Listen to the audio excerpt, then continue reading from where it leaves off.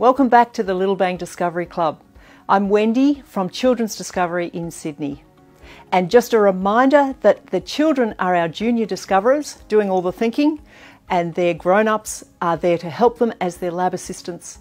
If they need help with something, then please help them, but let the kids do the thinking.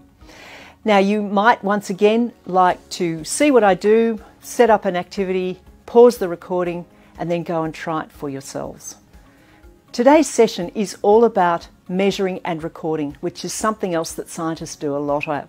Now, we finished last week with a collection, and I suggested you make a collection of your own, and I showed you some leaves. Now, I've got a few more collections to show you, uh, which are inspired by what children have brought me along in past programs. So, a popular thing for children to show is a collection of shells. So, there are a few different shells in there.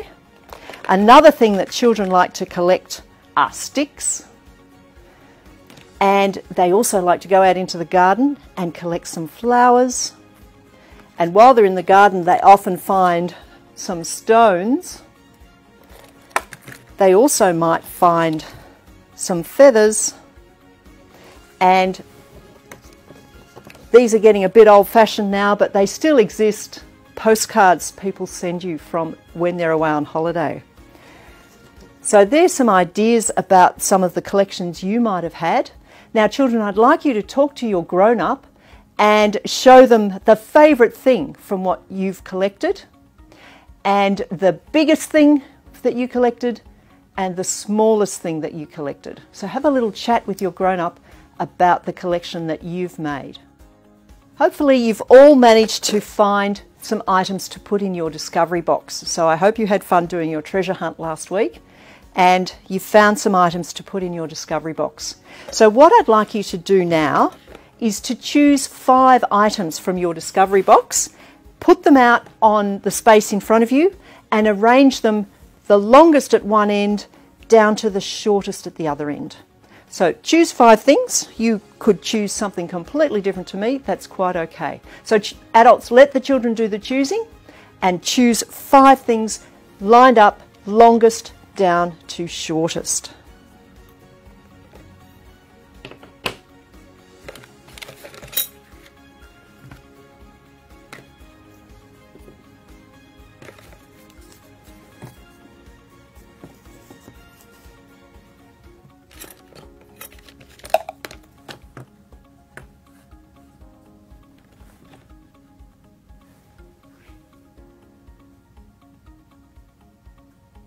Now I'd like you to point to your longest thing. So for me, the longest thing was my ruler, but you might have chosen something quite different.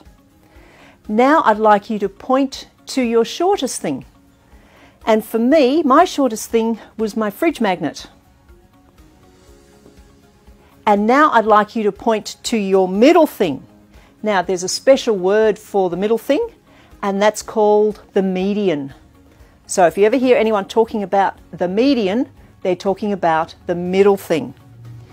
Now, that was quite an easy thing for us to do. We didn't actually have to do any measuring because we could easily compare just by looking at which was the longest down to which is the shortest. So we didn't actually do any measuring there, but we did do some comparing. Now, leave those things there because we're going to use them again soon. But now I'd like you to find your chopstick, if you've got one, or if you haven't got a chopstick, your big spoon. So see if you can find those things, and then I'm going to show you what to do with them. Now, with your chopstick or big spoon, we're not going to use them to eat with, we're going to use them to measure with, and we're going to measure your height. Now, this is one way of doing it. So count with me. One, two, three, four, five, six. So not quite six chopsticks tall. So after you've measured how tall you are in chopsticks or spoons, get your notebook and grown-ups you might need to help with this So I'm nearly six chopsticks tall. So now might be a good time to pause the recording and to measure your height in chopsticks and then write it down. Now, scientists like to do things over and over again to check that they did it right the first time.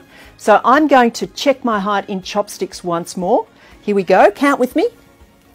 One, two, three, four, five, six, seven, nearly eight, but but I was only nearly six chopsticks a few minutes ago. What's going on here? Have I suddenly grown? Or did I do it so badly the first time? This time I'm nearly eight chopsticks. You're right, I'm tricking you. The first time I used this chopstick and that gave me a height of six. The second time I used this much shorter chopstick. And that's why you don't normally measure your height in chopsticks. This is an informal measure and not all chopsticks are the same length. So what I'd like you to do now is to have a look in your discovery box and see if you can find something that might be better for measuring your height with than chopsticks. That it doesn't matter who's measuring, it'll be the same unit of measurement.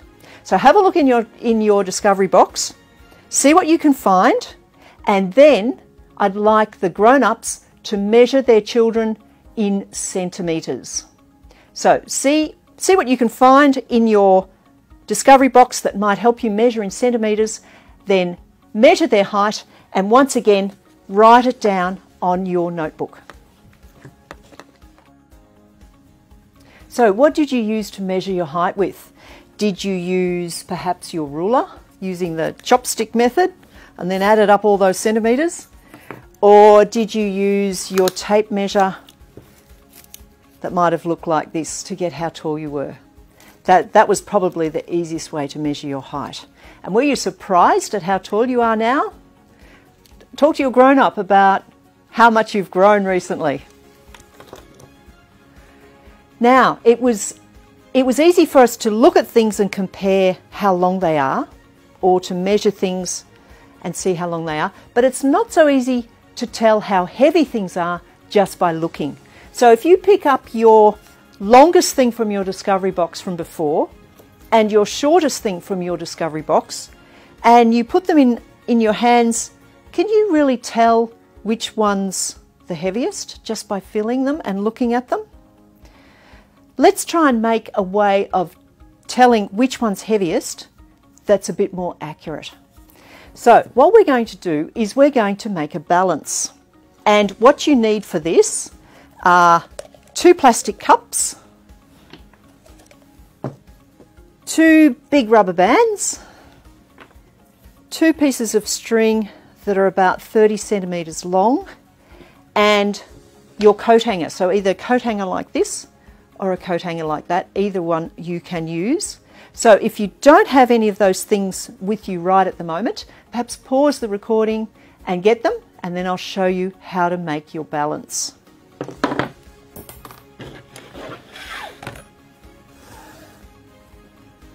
So the first step to making your balance is to put your rubber bands onto the plastic cups.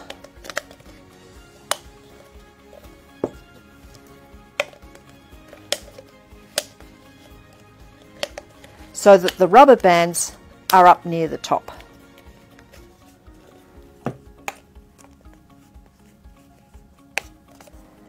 Now, using your pieces of string, you're going to tie a knot underneath your rubber band on one side for both of your plastic cups.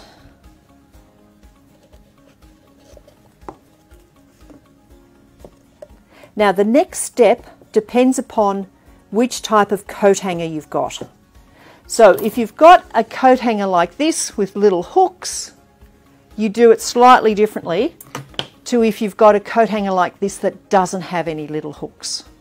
So let me show you what to do with this type first. So if you've got little hooks on your coat hanger, you can put your piece of string across the other side of the cup, tie a little knot,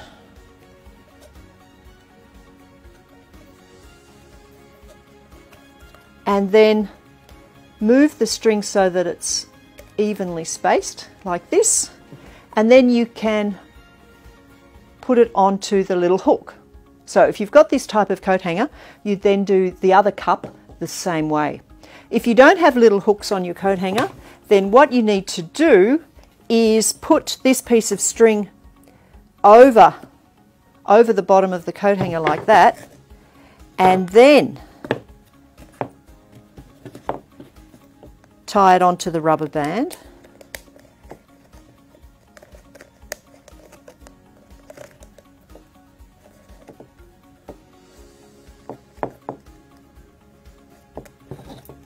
so that it's hanging over the, the, the bottom part of the coat hanger. So do that whichever way your whichever way your coat hanger is. Make your cups so that they can hang on your coat hanger. So here I've got one all ready to go that I pop on here and I pop on here and then if I hold it by my finger you can see at the moment the cups are balanced they're hanging the same height now what will happen when I put something into one side and nothing into the other talk to your grown-up what do you think is going to happen if we put something into one side and not into the other side? Now, what will happen if we put something into both sides? Talk to your grown up about what can happen when we've got a different thing in both sides of our balance. So, what you can try now is your longest thing from your discovery box and your shortest thing from your discovery box. Now, which cup is going down more? If we look at our coat hanger, can you see how this side has dropped down a bit lower than that side? So the ruler is heavier than the magnet. So you're now going to test lots of things to see which is heavier or will they balance and be both the same so that at the bottom of our coat hanger stays level if they're balancing and they're both the same weight. But before you do, you need to have a guess first because scientists always have a guess or make a prediction about what they think is going to happen. So some of the things that you might choose to test are some stones. You might choose to test some stones. I've got a couple of different stones here. They look about the same size, but what will happen when you put them in? Have a guess first. Which one do you think will be the heavier one? So that's something you might test. You might test some different sized spoons. Which one do you think will be the heavier one? Or will they be the same? You might test some different sized toys or toys made from different materials. So this one's a metal one and this one's a plastic one.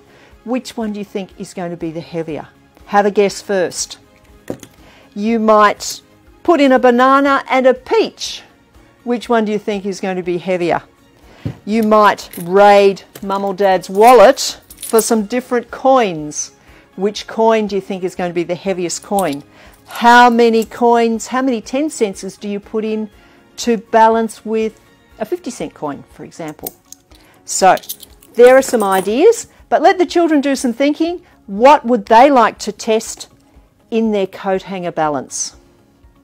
Now, when you've made your guess and you do your test, some of you might think, oh, I got that right, or oh, I got that wrong.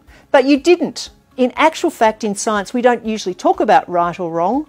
We talk about whether we got an expected result or an unexpected result. So make a note of the ones that the results that you got that were expected, the the ones you thought were heavier that actually were, and the results that were unexpected. Okay, go and have some fun doing some weighing. Now we're going to make something using our skills that we've just learnt with balancing. We're going to make a mobile. Now, normally you would be provided with a kit that had pipe cleaners or chenille stems and some pop sticks and some string to make a mobile that looks like this.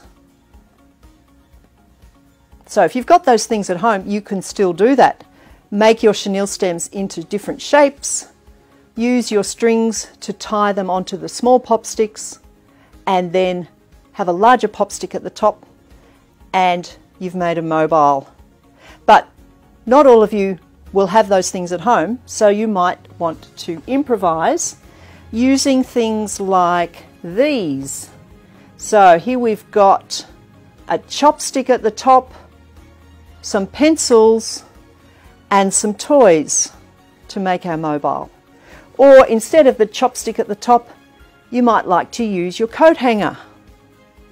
And you don't have to use these sorts of toys. Other toys that you might use could be some animals or some little soft toys. Whatever you would like to use, trying to make a mobile that is a couple of levels. So we've got a big level at the top and then a couple of other levels that our items are dangling from. So these pieces of string are about 30 centimetres in length and you need seven of them. One, two, three, four, five, six, seven. And you need two straight things for the strings to tie onto. So that's something for you to do for next, before next session. And as well, before next session, I'd like you to try and do lots of measuring. So you could measure how long things are using a tape measure or a ruler. Uh, you could do some timing, perhaps with if you've got a timer or with a phone or a clock with a second hand, perhaps time how long you're in the bath or the shower. That's something you could time. Um, lots of things you can time. Have some more thoughts about that. And you can also use your balance that you've made, your coat hanger balance, to see which thing is heavier. Or you might have at home a kitchen scales or bathroom scales that you could put things on. But before you do that, have a guess, make a prediction, which item do you think is going to be the heavier one? Now next week we're going to be doing more experiments and you will need a boiled egg or some grapes. So for one of the experiments you'll need a boiled egg or some grapes. So grown-ups, can you boil the egg before we start the next session so it's all ready to use? And you're also going to use a couple of the things that we spoke about last time like Blu Tack and salt. Okay, so lots of measuring this week and make sure you record what you measure because it can be really hard to remember what you measured if you don't write it down. Okay, have, have a lot of fun doing some science together, measuring and recording.